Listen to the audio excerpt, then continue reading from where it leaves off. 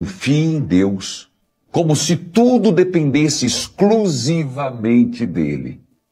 E, ao mesmo tempo, trabalhe como se tudo dependesse exclusivamente de você.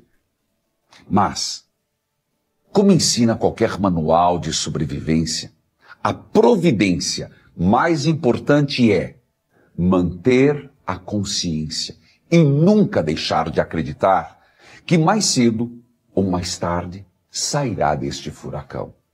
Filhos, para finalizar, aconselho que os pais, cônjuges, amigos, não se tornem juízes das pessoas próximas, e sim um parceiro neste momento tão difícil.